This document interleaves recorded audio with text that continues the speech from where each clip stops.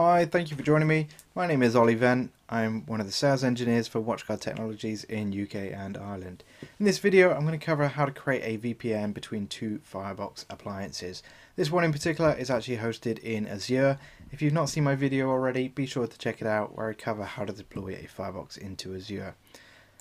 So to create the VPN, all I'm doing is selecting VPN on the left, and then we're going to go branch office VPN virtual interfaces. This just allows me to create um, VPN with metric based routing. So I'm going to give it a name, something that helps me identify it. So I'm going to choose my data center. I'm going to leave the endpoint type as Firebox and the, uh, the IPv4 addressing. Now we can use a pre-shared key or the Firebox certificate. Uh, I'm going to use a strong pre-shared key type that in now. And then I'm going to start the wizard to add my gateway endpoint. So I'm going to click on add. And what I want to be able to do is use the external interface and the primary IP address, but I'm going to choose the domain name for the ID authentication, and this is watchguarddemo.uksouth.cloudapp.azure.com.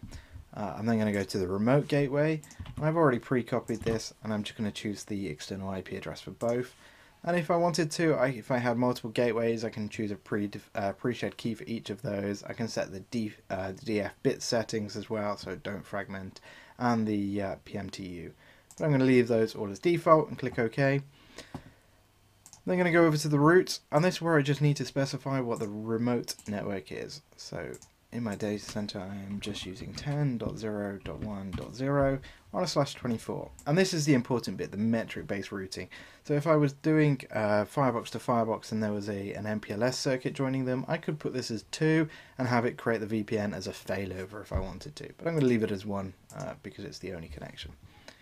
In my phase 1 settings uh, we leave these as defaults. Uh, we have some good strong defaults but I'm actually going to change this to IKE v2 um, so I'm going to click OK, and this IKE v2 just offers a secure and faster connection type through the VPN. I'm going to leave my phase 2 settings as they are, along with the multicast settings, and I'm just going to click save on that now. So that's it. That's all I needed to do on that one firebox to uh, create the VPN, and I just need to replicate that over on the other side.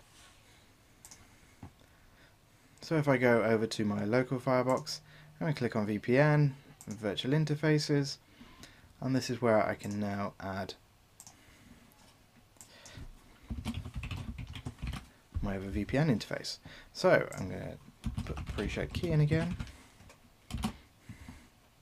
and click on add. I'm going to put in the IP address that I had earlier. the remote gateway, I'm going to fill this information in. So I've now filled this in. I've also chosen the dynamic IP address because my uh, Azure firewall is sitting behind a dynamic IP. I'm going to click OK and then just do the same again under the VPN routes.